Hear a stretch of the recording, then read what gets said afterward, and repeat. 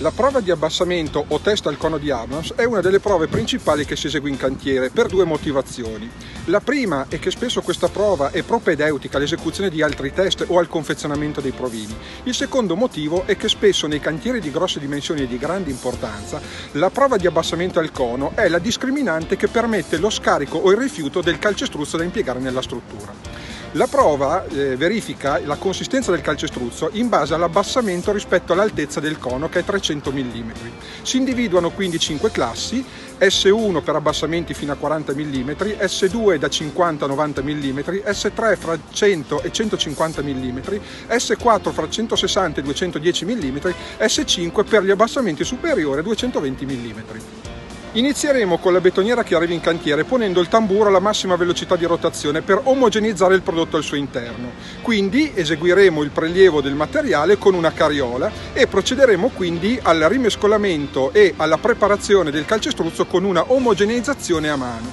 In questo modo avremo un prelievo estremamente coerente con il calcestruzzo all'interno della betoniera.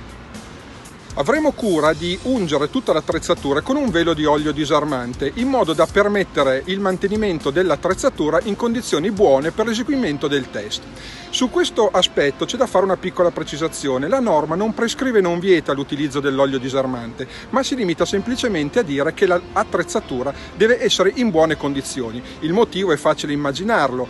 Una attrezzatura incrostata di rimasugli potrebbe alterare l'esito della prova. Personalmente opero applicando un piccolo velo di disarmante e con un pennello, successivamente lo rimuovo con un panno di cotone asciutto.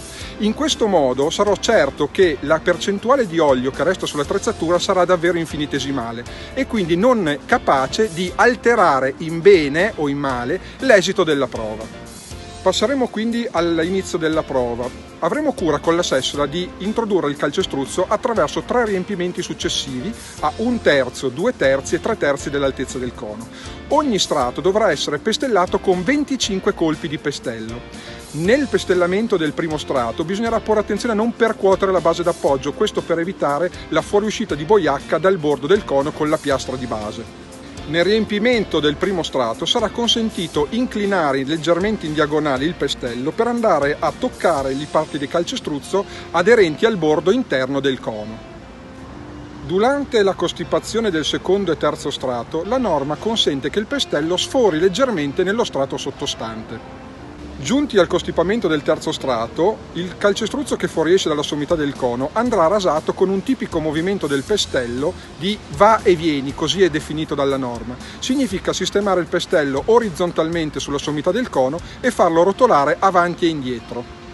A questo punto eh, libereremo la piastra di base da eventuali rimasugli di calcestruzzi caduti durante il riempimento e con un movimento fluido e regolare solleveremo il cono in maniera costante. L'operazione deve durare dai 2 ai 5 secondi massimo.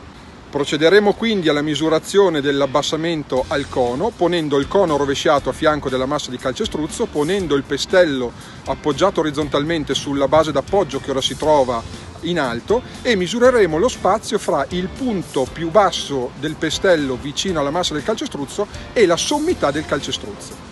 L'intera operazione, da quando inizieremo a riempire il cono con la prima sessolata di calcestruzzo fino a quando alzeremo il cono, non potrà durare più di 150 secondi. Una raccomandazione che mi sento di fare è la seguente. Quando si esegua la prova di abbassamento al cono, la presenza del direttore lavori un ispettore per l'accettazione del materiale, ogni singolo colpo di pestello durante l'assestamento degli strati dovrà essere dichiarato ad alta voce, quindi 1, 2, 3, 4, 5 e via di seguito. In questo modo la direzione lavori o l'ispettore si renderà immediatamente conto che la prova viene eseguita nel perfetto rispetto della normativa.